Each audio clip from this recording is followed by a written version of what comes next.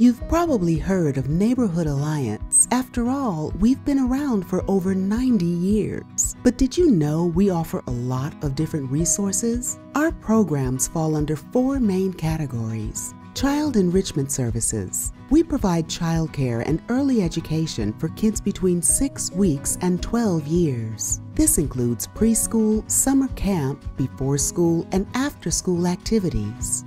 Family Support Services. Whether it's preparing parents for their baby's arrival, helping new parents grow their skills, supporting kids with delays in development, or helping kids get ready to start kindergarten, we support families of all kinds at no cost to the family. Senior Enrichment Services. We're here to make sure older adults in our community have someone to talk to, a hot meal when they need it, and that their family and caregivers have support too and shelter and emergency services.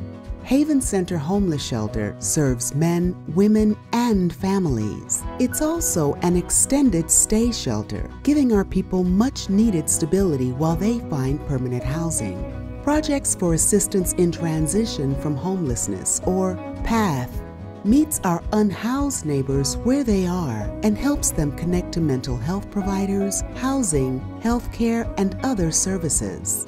We're helping communities grow stronger by meeting critical needs and empowering individuals and families. To learn more, visit myneighborhoodalliance.org, helping communities grow stronger.